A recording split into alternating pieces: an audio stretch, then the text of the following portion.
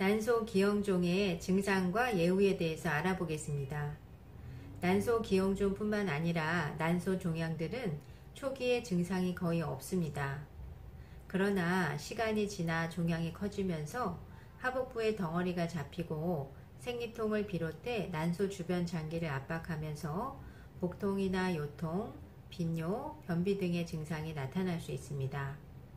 기형종의 크기가 5, 6cm 정도로 커지거나 증상이 일상생활에 지장을 줄 정도라면 절제 수술을 하게 되는데 이 과정에서 발생할 수 있는 난소의 조직 손상이나 유착 등은 자궁 난소 기능 저하로 이어질 수 있습니다.